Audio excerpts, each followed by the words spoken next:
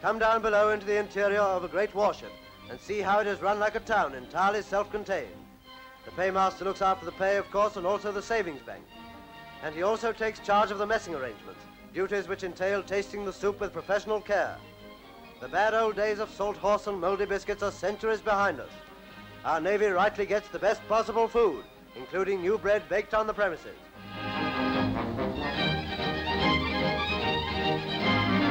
Now we come up to the surface again as the visitors prepare to leave.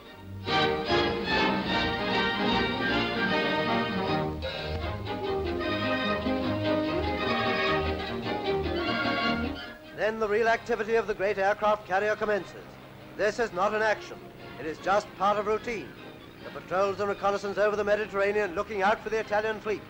But that's almost as hard to find as the fascist general.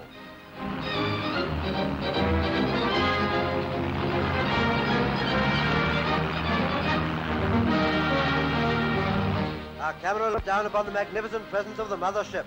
Ark Royal rides below. The combination of air and sea power that has given us more than one victory already. A strange merchantman is sighted and challenged, but she's British. She proceeds on her way.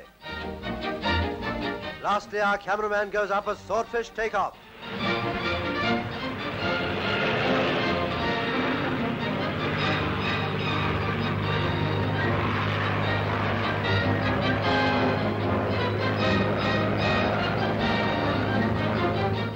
Fly alongside the sea bombers with their gigantic torpedoes.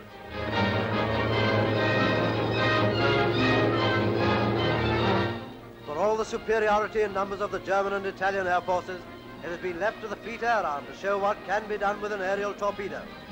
Against cruisers off Norway and against the battleships at Taranto, Britain has scored wonderful victories.